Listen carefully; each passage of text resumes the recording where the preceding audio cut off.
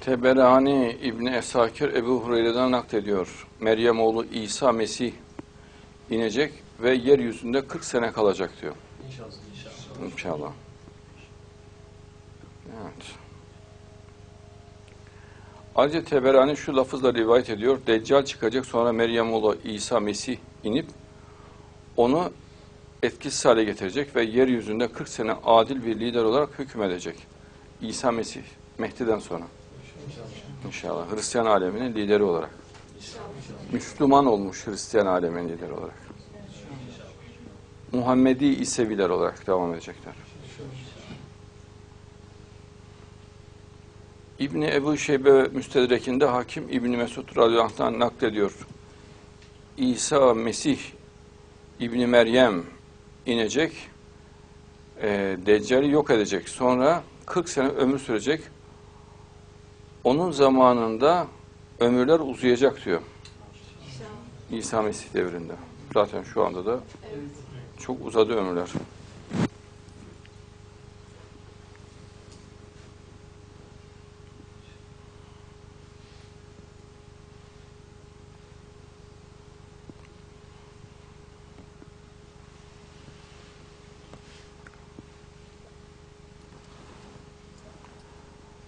İnsanların kumanda edebildiği hayvanlardan bahsediyor hadiste. Ama bu hayvanlar diyor, ekinin ortasından geçtikleri halde bir başak bile ağzına almayacaklar, yemeyecekler diyor. E, yemek yemeyen, yani ot yemeyen hayvanlar olacak diyor ve insanların sözünü dinleyecek diyor. Tarımda görev alacaklar diyor. Ne bu? İçeride var birebir. Öyle mi? İçeride var birebir Allah. Tabii. Maşallah. Bak ekinin ortasından geçtikleri halde diyor. Bir başak bile ağzına almayacak diyor. Süper. Maşallah. Anlatımı görüyor musunuz?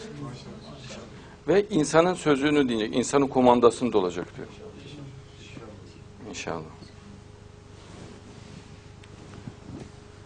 Yılan ve akrepler kimseye eza etmeyecekler. Yırtıcı hayvanlar kapıların önünde duracak da kimseye zararı dokunmayacak. Yılan ve akrep eskiden çok fazla ölüm olurdu yılan ve akrepten. Ve şu an elhamdülillah hiç duymuyoruz. Duymuyor. Evet. Eskiden bayağı bir felaketti. Yırtıcı hayvanlar kapının önünde duracak da kimseye zararlı dokunmayacak. Yani bütün e, dünyada yırtıcı hayvanlara karşı da şefkat gösterilecek. Fakat insana zarar vermeyecek. Niye? Çünkü beslenip bakımları yapıldığında e, onlara şefkatli aranında yırtıcı olmazlar. Evet. Yırtıcı olmuyorlar. Nasıl kediler şu an her yerde kaynıyor. Normalde yırtıcı hayvan onlar. Yani saldırgan ama hiç kimseye zararı olmuyor. Onun gibi olacak diyor. Yani o zaman belki çitalar, panterler de öyle İnşallah. ortada gezecekler inşallah. Yani iyi bir bakım, iyi bir beslenmeyle veyahut iyi bir eğitimle veyahut bazı ilaçların da kullanılmasıyla e, saldırgan olmayacaklar. Burada hayvan sevgisinin etrafa yayılacağı ve her türlü hayvanla insanların iç içe olacağı anlaşılıyor. İnşallah. Yani yırtıcı hayvanlar dışarıda gezebilecek. İnsanlar bunu görebilecek. Çünkü hayvan sevgisi var insan ama göremedikleri için sevemiyorlar. Ya zararlı gördükleri için seviyor ama hastalık riski olmazsa, bakımlı olursa, zararsız olursa insanlar rahatça sevebilirler. Kişi bir ölçek buğdayı alıp öküzsüz ve sabansız ekecek. Zaten öküze ve o zaman hayvanlar diyor, emredilecek. Hayvan orayı sürecek diyor. Ama ot yemeyecek diyor. Burada bak öküzsüz ve sabansız sürülecek diyor. Karşılığında 700 ölçek buğday alacak. Yani ürün çok fazla alınacak. Modern tarıma dikkat çekiyor. İlk defa ahir zamanda oldu o. Mehdiyet devrinde oldu. Ve Yecüc ve Mecüc çıkana kadar yeryüzünde böyle refah içinde yaşayacaklar. İsa Mesih'ten sonra e, e, yani yeni bir e, komünist, faşist kavgası olacak. İsa Mesih'ten sonra yeryüzü kana bulanacak. Ama en sonunda komünistler hakim olacaklar. Dünyada din, iman hiçbir şey kalmayacak. 1543 yılına kadar devam ediyor bu gelişme. 43'te en yüksek noktaya çıkıyor. 43'ten 45'e kadar dünya tarihinde görülmemiş bir dinsizlik ve ahlaksızlık yaşanıyor. İki yıl. Sonra dünyanın aklı hükmünde olan Kur'an diyor. Göğe ref edilmesiyle artık dünyanın aklı gider diyor Bediüzzaman. Ve intizamsız hareketlerle başını başka bir seyyareye vurur diyor. Tam o tarihte bir gök taşının dünyaya çarpacağı bilim adamlarınca tespit edilmiş zaten.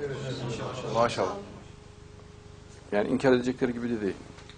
Bak Bediüzzaman söylüyor. Bediüzzaman'ın söylediği çarpacak bir e, seyyarenin çarpacağını söylüyor. Bilim adamlar daha yeni tespit ettiler bunu. Bu Bediüzzaman'da keramet. Maşallah. Bediüzzaman bunu 70 yıl önce söylüyor. Bilim bunu daha 10 yıl önce tespit etti. 70 yıl önce söyledi Bediüzzaman.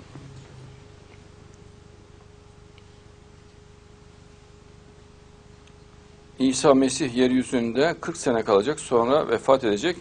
Müslümanlar namazını kılıp Peygamber sallallahu aleyhi ve sellem yanına defnedecekler. Peygamberimiz öz olarak tarif etmiş. Benim yan tarafımda boş bir yer bırakın. Kardeşim İsa Mesih'i oraya defnedeceksiniz demiş. Ee, sahabiler de o sözü tutmuşlar. Peygamberimizin sağ tarafı boştur. Maşallah. Sahabeler e, sağlı sollu yanına defnedilmiştir. Fakat orada bir e, boş yer bırakılmıştır. Sağ tarafında. Bayağı büyükçe boş bir yer. Maşallah. Beraber kalkacağız diyor biz. İsa Mesih'le diyor. Peygamberimiz sallallahu aleyhi ve sellem. İnşallah. Yine yine Ebu Hureyre anh'ten Meryem oğlu İsa Mesih 40 sene gelecek, kalacak.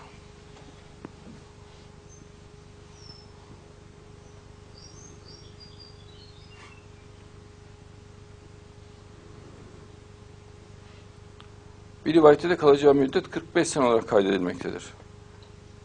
Yani kastedilen yani yaklaşık. Evet. Tam net şey yapıyor mesela Mehdi öyle 9 veya 7 sene diyor. O hani öyle bir gerilim yaşamasın insanlar diye söylemiş bir şey. İnşallah. Bazı kişiler için. Ee, Bu rivayetteki küsurat asıl süreye zarar vermez. Çünkü diğer rivayetlerde küsurun terk edilmiş olma ihtimali vardır diyor. 45 daha e, makul görünüyor. Çünkü e, 1545'te zaten kıyamet kopuyor. 45 50'ye geçişin tam sınır noktası. 46 oldu mu 50 olmuş, yarıyı geçmiş oluyor. İnşallah.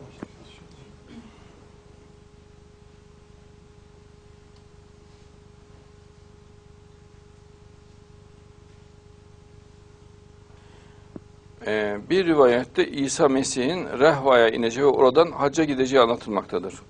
Hacı olacak İsa Mesih. Rehva Medine ile e, Vadi Sefra adasında e, Mekke yolundaki bir yerin adıdır.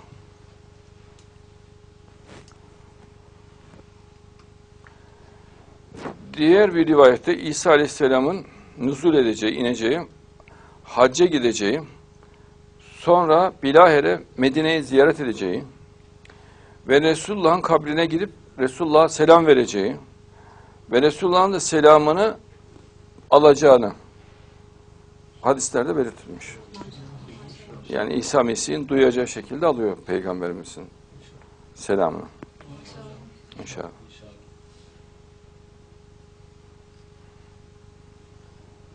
Peygamberimiz selam İsa Mesih selam diyor. Peygamber aleyküm selam diyor.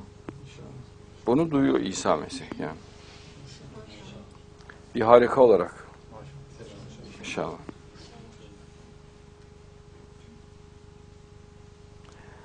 Enes radıyallahu anh'ten sizden her kim Meryem oğlu İsa Mesih'e erişirse benden ona selam söylesin diyor Peygamberimiz. Onun için Peygamberimizin selamını söyleyeceğiz. Hakimde. İnşallah.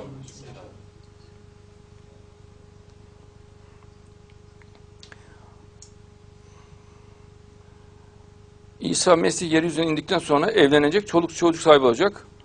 Sonra Medine'de vefat edecek. Evlenecek, çoluğu çocuğu oluyor. İsa Mesih'in. Çünkü daha önce çoluğu çocuğu olmamıştı. Ama İsa Mesih'e mahsus, mesela Mehdi'nin diyor çocuğu olmayacak diyor Peygamberimiz. Onun öyle diyor, onun çocuğu olmayacak. İnşallah. Ama İsa Mesih'in olacak diyor.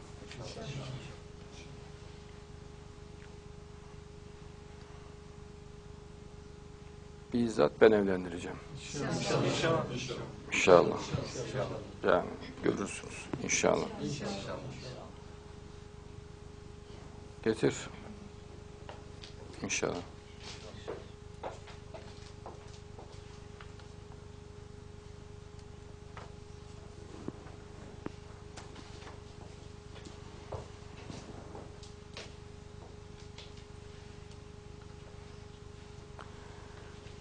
İsa Mesih'in hac yaptıktan sonra peygamberimizin kabrini ziyareti sırasında vefat edeceği söyleniyor rivayette. Yani belki heyecandan, belki bir şey Allah vesile edecek. Kabrini ziyareti esnasında vefat edecek. Yani orada vefat edeceği söyleniyor. İnşallah.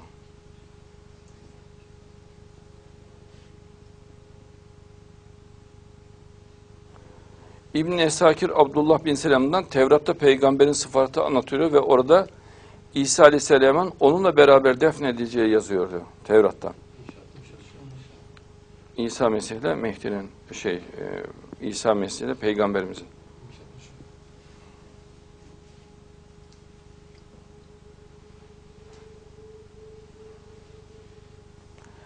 Buhari tarihinde e, İbn Esakir ondan Abdullah bin Selam'dan naklettiklerine göre İsa Aleyhisselam Resulullah ile iki sahabesi Ebu Bekir Hazreti Ömer radıyallahu anh'ın yanına defnedilip kabir adedi dörde çıkacaktır. Hazreti Ebu Bekir'in kabri bir tarafta biliyorsunuz. Hazreti Ömer'in kabri bir tarafta. Boşluk var arada. Hazreti Ebu Bekir peygamberin sağ tarafında. Boşluk var. Yani genişçe bir boşluk. İsa Mesih'in gömülmesi için.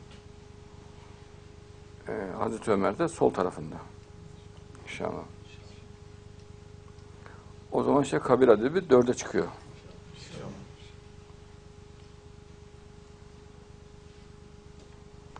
İbn Cezvin Abdullah bin Ömer radıyallahu anh'ten marfuan naklettiği bir rivayette şöyle buyurulmaktadır. İsa Mesih İbni Meryem yeryüzüne inecek, evlenecek, çoluk çoluk sahibi olup 45 sene yaşayacak. Burada da bak 45 sene diyor.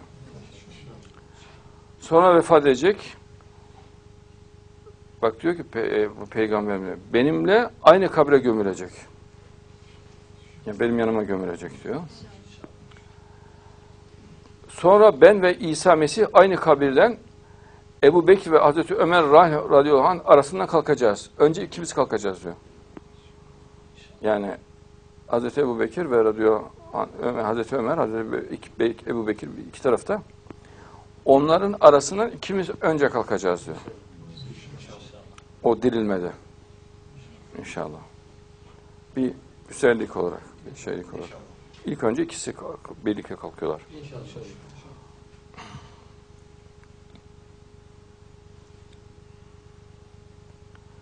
İlk dirilen olmaları çok mandar. Tabii İsa Mesih'in yeryüzüne inişi. Yeryüzünden önce alınışı. Sonra inişi. Ölüyü diriltmesi. Sonra kendisinin e, ölüyken yeniden peygamberimize birlikte kalkması inşallah.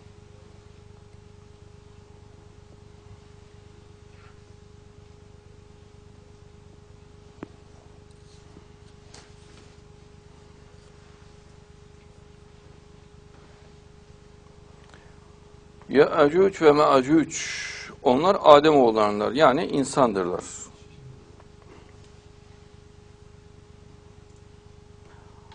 Ee, Ahbardan onlar Adem ve Havva'nın çocuklarındandır. Ya demek ki öyle anormal mahluklar değil. Yani insan bunlar. Yani ahlakları anormal.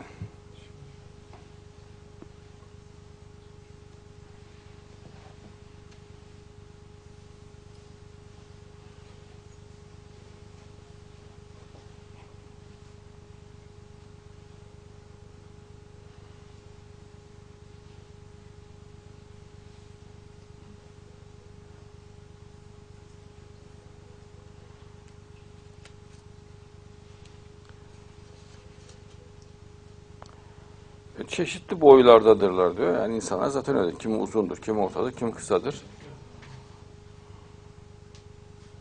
Evet.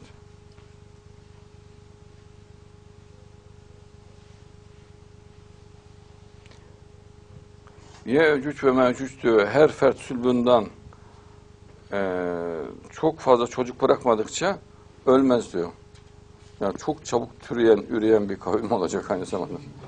Yani çok fazla evlenen yahut işte gayrimeşru da olacak ilişkileri zaten. Fakat çok fazla çocuk doğuran bir kavim.